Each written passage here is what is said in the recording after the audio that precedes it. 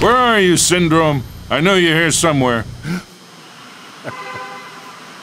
Sorry about that. I'll see you around.